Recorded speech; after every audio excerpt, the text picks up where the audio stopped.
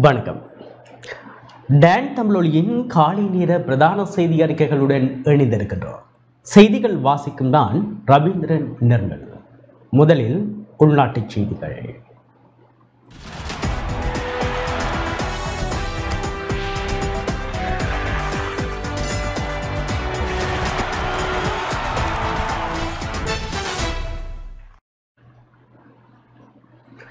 ஜனாதிபதி தேர்தலுக்கான தமிழ் பொது வேட்பாளர் தொடர்பான புரிந்துணர்வு ஒப்பந்தம் ஒன்று இன்று கைச்சாத்திடப்படவுள்ளது. சிவில் சமூக அமைப்புகள் மற்றும் அனைத்து கட்சிகளினதும் ஆதரவுடன் தமிழ் மக்கள் தரப்பிலிருந்து ஒரு ஜனாதிபதி பொது வேட்பாளரை நிறுத்துவதற்கு கடந்த காலங்களில் பேச்சுவார்த்தைகள் முன்னெடுக்கப்பட்டன. அது தொடர்பான புரிந்துணர்வு ஒப்பந்தம் ஒன்று இன்று கைச்சாத்திடப்படவுள்ளது. அதனைத் தொடர்ந்து வேட்புமனு தாக்கல் செய்வதற்கான திகதிகள் அறிவிக்கப்படும் போது பொது வேட்பாளர் யார் என்பது குறித்து அறிவிக்கப்படும். தமிழ் மக்களுடைய தேசிய இன பிரச்சனையை தீர்ப்பதற்கான ஒரு உந்துதலை கொடுப்பதே இதன் முதன்மையான நோக்கமாகும். இந்த புரிந்துணர்வு ஒப்பந்தத்தை தொடர்ந்து பிரசாரத்துக்கான குழு தேர்தல் விஞ்ஞாபனத்தை உருவாக்குவதற்கான குழு என்பவற்றுடன் பல்வேறுபட்ட நடவடிக்கைகளை மேற்கொள்வதற்காக குழுக்கள் நியமிக்கப்படும். வடக்கு கிழக்கு மாத்திரமன்றி தமிழ் பேசும் மக்கள் வாழ்கின்ற சகல பகுதிகளிலும் இது தொடர்பில் பிரசாரங்கள் முன்னெடுக்கப்பட உள்ளதாக தெரிவிக்கப்பட்டுள்ளது. தேசிய பாதுகாப்பு கற்கைகள் நிர்வாகத்தின் முன்னாள் பணிப்பாளர் அசங்க அவே குணசேகர பிணையில் விடுவிக்கப்பட்டுள்ளார். கடுநாயக்க விமான நிலையத்தில் வைத்து கைது செய்யப்பட்ட தேசிய பாதுகாப்பு கட்கைகள் நிர்வாகத்தின் முன்னாள் பணிப்பாளர் அசங்க அபே குணசேகர பிணையில் விடுவிக்கப்பட்டுள்ளார். நேற்றைய தினம் அவர் நீர்கொழும்பு நீதவான் நீதிமன்றில் முன்னிலைப்படுத்தப்பட்ட போது தலா ஒரு மில்லியன் பெறுமதியான இரண்டு சரீர பிணைகளில் செல்ல நீதவான் அனுமதி அளித்தார். இதற்கமைய குறித்த வழக்கு எதிர்வரும் ஆகஸ்ட் மாதம் ஒன்பதாம் தேதி மீண்டும் விசாரணைக்கு வரவுள்ளது. உள்நாட்டு இறைவரி திணைக்களத்தினால் முன்னெடுக்கப்படும் விசாரணைகளுக்கு அமைய பிறப்பிக்கப்பட்டுள்ள திறந்த பிடியாணையின் பிரகாரம் அசங்க அபே குணசேகர கைது செய்யப்பட்டதாக போலீசார் தெரிவித்துள்ளனர்.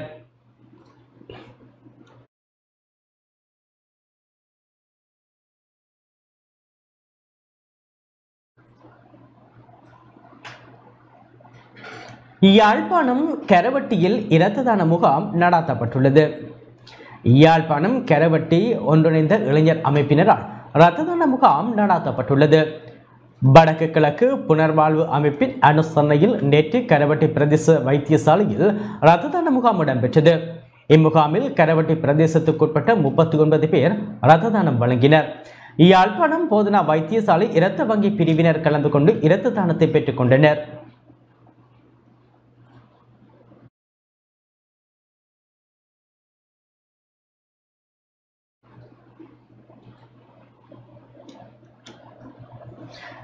மக்கள் ஆணை பெற்ற ஜனாதிபதி தேர்தலினூடாக தெரிவாக வேண்டும் என நாடாளுமன்ற உறுப்பினர் செல்வம் அடைக்கலநாதன் தெரிவித்துள்ளார்.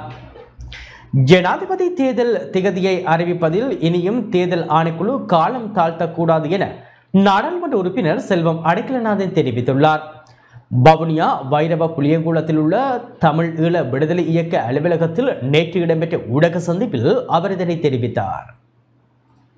தேர்தல் ஆணையாளர் சரியான திகதியிலே தேர்தலை அறிக்க வேண்டிய கடமையும் பொறுப்பும் அவரிடம் இருக்கிறது. ஆகவே அவர் இனியும் காலம் தாழ்த்துகின்ற செயல்பாட்டில் இருக்கக்கூடாது இருக்க முடியாது பயந்து கொள்ள விரும்புகின்றேன் அந்த வகையிலே காரணங்களை காட்டி தேர்தல் திணைக்களம் ஜனாதிபதி தேர்தலை பின்போட நினைக்கிறதா என்ற சந்தேகத்தை பொதுவாக மக்கள் மத்தியில் எழுப்புகின்ற சூழலை உருவா உருவாக்க வேண்டாம் என்பது எங்களுடைய கோரிக்கையாக இருக்கிறது.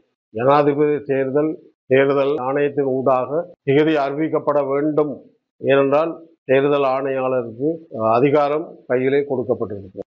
எந்த காரணமும் காட்டாது இந்த ஜனாதிபதி தேர்தலில் மக்கள் ஆணையை பெறுகின்ற ஒரு ஜனாதிபதியாக இந்த தேர்தலின் ஊடாக யாராவது வர வேண்டும் என்ற ஒரு நிலை எங்களை பொறுத்த மட்டிலே இருந்து கொண்டிருக்கிறது. ஆகவே ஜனநாயக முறையிலே தேர்தலை நடத்த வேண்டும் என்பது எங்களுடைய கோரிக்கையாக இன்றைய சூழல் ஜனாதிபதி தேர்தல் வருகின்ற சூழலிலே இந்த பொது தமிழ் பொது வேட்பாளர் என்ற அந்த அடிப்படையிலே நாங்கள் அது சம்பந்தமாக செயல்பட இருக்கிறோம். அதே போல இந்த ஒற்றுமை என்பது தொடர்ச்சியாக நீடிக்கின்ற எங்களுடைய மக்களுடைய பிரச்சனைகளை பெரிய அள- எல்லா எல்- எல்லா நாடுகளுக்கும் அல்லது எங்களுடைய பிரச்சனையை வெளிக்கொணர்கின்ற போராட்டங்களை மேற்கொள்வது வருகின்ற அது மாகாண சபை தேர்தலாக இருக்கலாம் ஜனாதிபதி தேர்தலாக இருக்கலாம் பாராளுமன்ற தேர்தலாக இருக்கலாம் உள்ளூராட்சி மன்ற தேர்தலாக இருக்கலாம் மக்கள் இழைக்கப்படுகின்ற எங்களுடைய இனம் இனம் சார்ந்த பிரச்சனைகளாக இருக்கலாம். இனி வரும் காலங்களில் ஒரு அணியாக நாங்கள் செயல்பட இருக்கின்றோம். ஒளியில் இருக்கின்ற தேசியத்தை நேசிக்கின்ற கட்சிகளை உள்வாங்குகின்ற முயற்சிகளையும் இந்த அணி செய்யும். மக்கள் பலமாக கொண்ட ஒரு அமைப்பாக இந்த அமைப்பு செயல்படும் என்பதை இங்கு நான் குறிப்பிட விரும்புகிறேன்.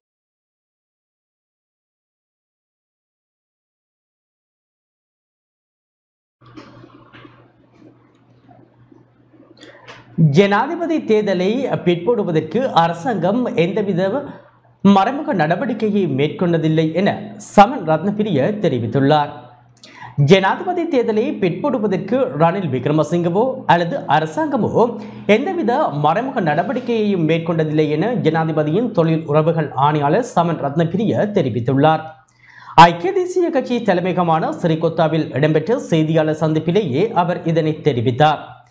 எதிர்க்கட்சியை தேர்தலை பிற்படுவதற்கான ச சதித்திட்டங்களை மேற்கொண்டு வருகின்றது. அதனை மறைக்க ரணில் விக்ரமசிங்கவின் மீது குற்றம் சுமத்துகின்றனர். ஆனால் உரிய காலத்தில் தேர்தலை நடாத்துவதற்கு ரணில் விக்ரமசிங்க உறுதியாக இருக்கின்றார். கடந்த வாரம் வியாபாரி ஒருவரால் ஜனாதிபதியின் பதவிக்காலத்தை கேள்விக்குட்படுத்தி உயர் நீதிமன்றத்தில் வழக்கு தொடரப்பட்டிருந்தது. எனினும் வழக்கு தள்ளுபடி செய்யப்பட்டிருந்தது. ஆனால் குறித்த வழக்கு தாக்கல் செய்த நபர் தற்போது ஐக்கிய மக்கள் சக்தியின் நிறைவேற்றுக்குழு உறுப்பினர் ஒருவரின் நெருங்கிய நண்பர். இதன் மூலம் தேர்தலை பிற்படுவதற்கு சதித்திட்டங்களை மேற்கொள்பவர்கள் யார் என்பதை புரிந்து கொள்ளலாம். அதனால் ஜனாதிபதி தேர்தலை உரிய காலத்தில் நடாத்துவதற்கு ரணில் விக்ரமசிங்க உறுதியாக இருக்கின்றார். அவர் தேர்தலில் சுயாதீன வேட்பாளராக போட்டியிடுவார். அதேபோன்று பெரும்பான்மை வாக்குகளால் ரணில் விக்ரமசிங்க வெற்றி பெறுவதை சஜித் அனுர யாராலும் தடுக்க முடியாது என சமன் ரத்னபிரிய தெரிவித்துள்ளார்.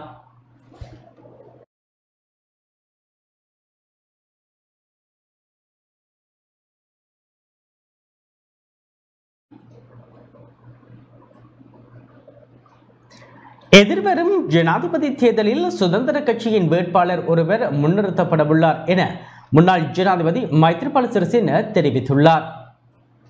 எதிர்வரும் ஜனாதிபதி தேர்தலில் சுதந்திர கட்சியின் வேட்பாளர் ஒருவர் முன்னிறுத்தப்படவுள்ளதாகவும் அதற்கான வேட்பாளர் தெரிவு செய்யப்பட்டுள்ளதாகவும் முன்னாள் ஜனாதிபதி மைத்ரிபால சிறிசேன தெரிவித்துள்ளார். இதன்போது ஜனாதிபதி தேர்தல் கண்டிப்பாக நடத்தப்பட வேண்டும் எனவும் அதனை எந்த வகையிலும் ஒத்திவைக்க முடியாது எனவும் அவர் வலியுறுத்தினார். மேலும் தேர்தலை பிற்பட முயற்சித்தால் நாட்டில் வன்முறை வெடிக்கலாம் எனவும் அவர் தெரிவித்தார்.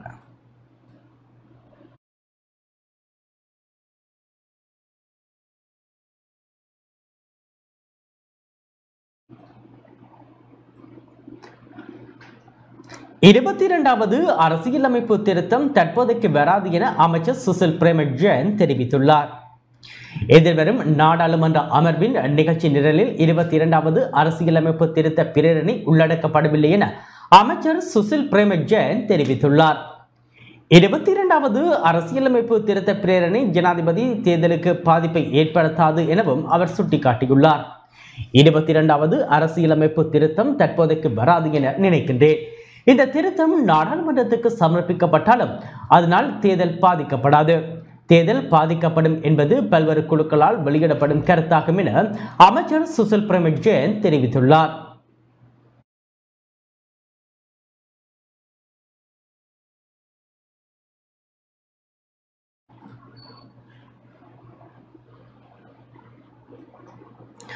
தமிழ் மக்கள் கூட்டணியின் தேசிய மாநாடு நேற்று இடம்பெற்றது.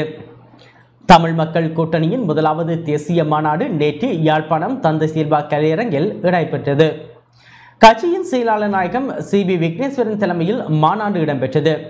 மங்கள வாத்தியங்கள் முழங்க விருந்தினர்கள் வரவேற்கப்பட்டு மாலைகள் அணிவிக்கப்பட்டு கட்சி கொடி ஏற்றப்பட்டு மங்கள விளக்கேற்றலுடன் மாநாடு ஆரம்பமானது.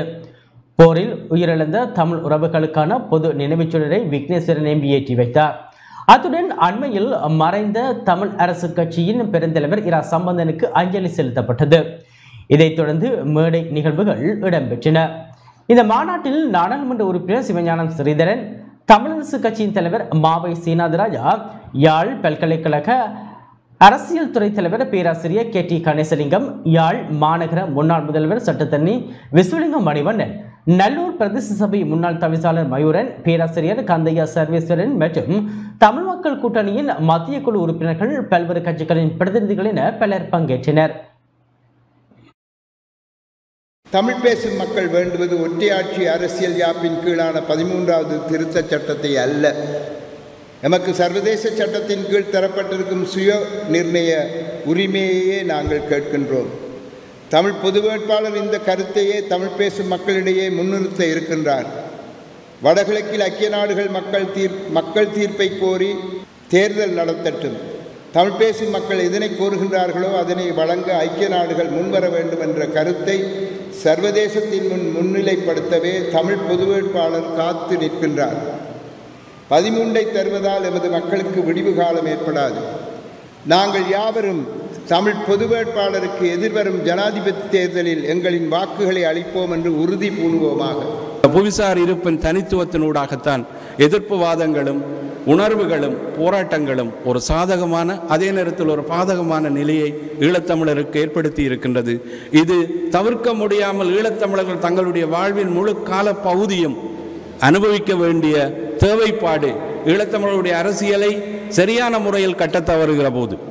சரியான முறையில் வடிவமைக்க தவறுகின்ற போது போலித்தனமானதும் கு- சேவை செய்வதும் எதிரிக்கு சேவை செய்கின்ற தலைமைகளும் இந்த சமூகத்தினுடைய அல்லது இந்த இனத்தினுடைய இருப்பை தங்களுடைய நலன்களுக்காக பாவிக்கும் வரையும் ஈழத்தமிழர்களுடைய அரசியல் இருப்பில் ஒரு மாற்றத்தை அடைய முடியாது. பலவீனமான அறிவியல் உலகத்தை மீள கட்டி அமைப்பதும் ஒழுங்குபடுத்துவதும் தவிர்க்க முடியாத ஒரு நிமிர்வை ஈழத்தமிழர்களுக்கு ஏற்படுத்தும். தமிழ் மக்கள் கூட்டணியின் குறிக்கோள்கள் அரசியலில் தன்னாட்சி சமூக ரீதியான சச்சார்பு மற்றும் பொருளாதார எதிர்பார்ப்பாக தன்னிறைவாவன. அத்துடன் நேர்மையான இளைஞர் யுவதிகள் பெண்கள் போன்றவர்களின் அரசியல் பிரசுரத்தை உறுதிப்படுத்துவதாகும். தேர்தல் கூட்டாக அன்றி தேசத்தின் கூட்டாக தமிழ் தேசிய கூட்டமைப்பை மீள உருவாக்க வேண்டும் என நாடாளுமன்ற உறுப்பினர் சிவஞானம் ஸ்ரீதரன் தெரிவித்துள்ளார். தமிழ் தேசிய கூட்டமைப்பை மீள உருவாக்குவதற்கு தமிழ் தேசிய தலைவர்கள் ஒவ்வொருவரும் ஒத்துழைக்க வேண்டும் என நாடாளுமன்ற உறுப்பினர் சிவஞானம் ஸ்ரீதரன் அழைப்பு விடுத்துள்ளார். யாழ்ப்பாணத்தில் நேற்று இடம்பெற்ற தமிழ் மக்கள் கூட்டணியின் முதலாவது தேசிய மாநாட்டில் முதன்மை விருந்தினராக கலந்து கொண்டு உரையாற்றும் போதே அவர் இவ்வாறு குறிப்பிட்டார். ஈழத்தமிழர்களின் அடிப்படை மற்றும் அரசியல் உரித்துக்களை அங்கீகரித்து அர்த்தமுள்ள அரசியல் அதிகார பகிர்வின் மூலம் இன சமத்துவத்தை அங்கீகரிக்கின்ற பொருளாதார சுவீட்சமுள்ள இலங்கையை கட்டியெழுப்புவதற்கு இலங்கை அரசு தொடர்ந்தும் தவறி வருகிறது என்பதை பிராந்திய மற்றும் சர்வதேச அரசுகள் உணர்ந்து கொள்ளும் காலமும் நேரமும் நெருங்கி வந்திருப்பதை புரிந்து கொள்ள முடிகிறது.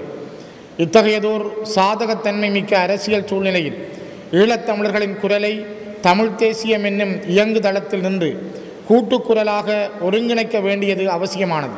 இளைய தலைமுறை அரசியலாளர்களை வலுப்படுத்தல் மக்களை அரசியல் மயப்படுத்தல் மக்களின் உணர்ச்சியையும் திரட்சியையும் ஒரு புள்ளியில் சந்திக்க வைத்தல். உள்ளிட்ட அரசியல் செல்நெறிகளை செயலுறப்பெறச் செய்ய வேண்டியுள்ளது என்பதையும் நாம் அறிவோம். மேற்கூறிய அத்தனையையும் இனநலன் ஒன்றையே நோக்காக கொண்ட நல்ல தலைமைத்துவத்தால் மட்டுமே ஏற்படுத்த முடியும்.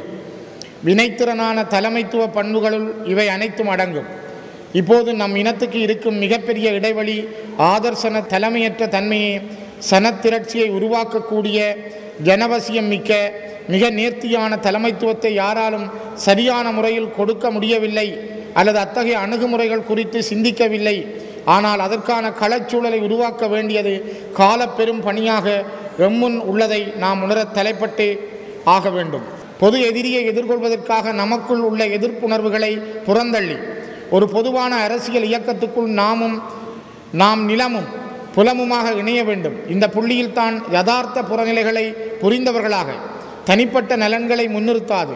இன நலன்களை முன்னிறுத்தும் ஓர் கூட்டு தலைமையின் உருவாக்கம் குறித்தும் அத்தகைய நேர்கோட்டில் இயங்கும் ஒவ்வொரு கட்சிகளினதும் மரபார்ந்த தனித்துவங்களை பேணி ஒற்றுமைக்குள் வேற்றுமையும் வேற்றுமைக்குள் ஒற்றுமையும் காணுவது குறித்தும் கூட்டமைப்பை மீள மீள உருவாக்குவது குறித்தும் அவ்வாறு மீளுருவாக்கம் பெறும் கூட்டமைப்பு என்பது தேர்தலுக்கான கூட்டமைப்பு என்பதை தாண்டி தேசத்துக்கான கூட்டமைப்பாக கட்டியெழுப்பப்பட வேண்டும் என்றும் அதற்கு தமிழ் தேசிய தலைவர்கள் ஒவ்வொருவரும் ஒத்துழைக்க வேண்டும் என்றும் இந்த மாநாட்டின் ஊடாக நான் அழைப்பு விடுக்கிறேன். இன்று தமிழ் தேசியம் சார்ந்த கட்சிகள் மக்களிடமிருந்து அந்நியப்பட்டு நிற்கின்றன. இங்குதான் உரிமை அரசியலை சலுகை அரசியல் வெல்கிறது. இந்த நிலைமையை சீர் செய்ய தமிழ் தேசிய அரசியல் மறுசீரமைப்பு முயற்சிகளை விரைவுபடுத்த வேண்டும். இனத்தின் விடுதலை குறித்த சிந்தனைகள் வலுக்குன்ற தொடங்கியிருக்கும் எங்களின் இரண்டாம் தலைமுறையினரிடத்தே எங்கள் போர் அறப்போர் குறித்த புரிதல்கள் குறுகி இருப்பதை அவதானிக்க முடிகிறது. எமது சிந்தனைகளை மீள் வடிவமைப்புக்கு கொண்டு வருவதன் மூலம் காலத்தின் வேகத்துடனும் பூகோள மாற்றங்களுடனும் எமது மக்களின் அபிலாசை தளங்களில் இருந்து தடம் புரளாது பயணிக்க வேண்டியுள்ளது.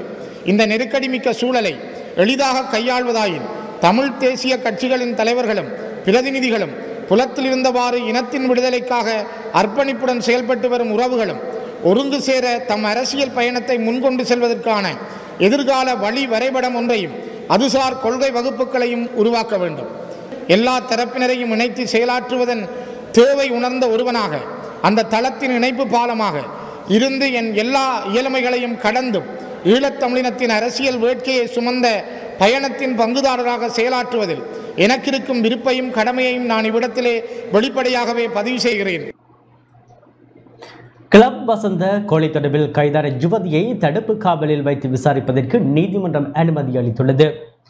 கிளப் வசந்த எனப்படும் வர்த்தகர் சுரேந்திர வசந்த பிரேராவின் கொலை தொடர்பில் கைதான யுவதியை நாற்பத்தி எட்டு மணி நேரம் தடுப்பு காவலில் வைத்து விசாரிப்பதற்கு நீதிமன்றம் அனுமதி அளித்துள்ளது.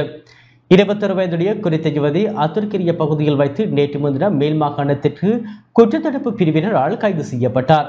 கைதான யுவதி நேற்று கடவுள நீதவான் முன்னிலையில் ஆஜர்படுத்தப்பட்ட போது போலீசாரின் கோரிக்கைக்கு அமைய அவரை தடுப்பு காவலில் வைத்து விசாரிப்பதற்கு நீதவான் அனுமதி அளித்துள்ளார். கிளப் வசந்தவின் கொலையுடன் தொடர்புடைய துப்பாக்கி தயாரிகளுக்கு உதவியளித்த குற்றச்சாட்டில் மரிச பகுதியைச் சேர்ந்த குறித்த யுவதி கைது செய்யப்பட்டுள்ளார்.